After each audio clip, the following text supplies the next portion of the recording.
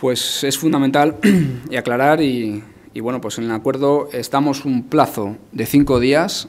a todos los clubes, cinco días, se les va a notificar hoy por correo electrónico, para que hagan sus propuestas eh, para formar parte de ese comité organizador. Lógicamente la Junta del IMD ha facultado al vicepresidente, que soy, que soy yo,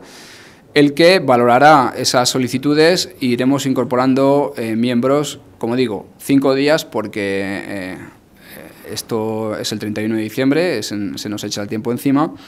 y hay que tomar muchas decisiones, aunque les puedo avanzar que los grandes y magníficos proyectos que han presentado fundamentalmente Club Atlético Segoviano y, y Triatlón IMD hacen que la carrera vaya a evolucionar eh, mucho. Eh,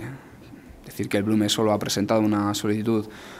para utilizar la vía pública y un proyecto muy, muy, escueto y que no mejora nada el proyecto de, años anteriores. Bueno, y como digo, ya la valoración personal como concejal de deporte, lamentar que, el Partido Popular vote en contra de lo que va a suponer un gran avance para, para la carrera de fin de año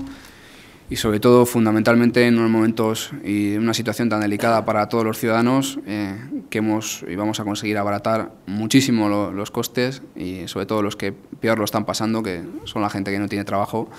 pues que sea gratuito correr cuando otros años costaba, si no recuerdo mal, 10 euros.